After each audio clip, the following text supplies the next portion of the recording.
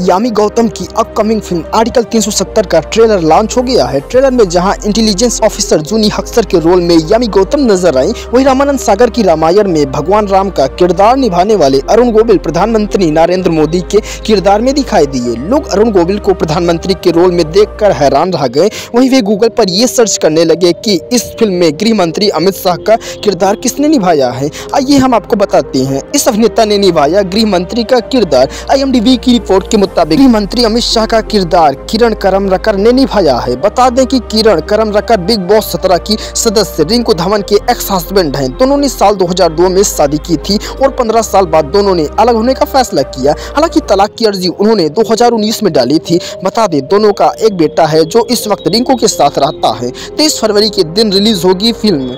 Film में दिखाया जाएगा कि सरकार को काश्मीर से धारा 370 हटाए जाने पर किन किन चुनौतियों का सामना करना पड़ा था। इतना ही नहीं फ़िल्म में यह भी दिखाया जाएगा कि धारा 370 हटाए जाने से पहले आतंकवाद की वजह से घाटी में कैसी स्थिति बनी हुई थी।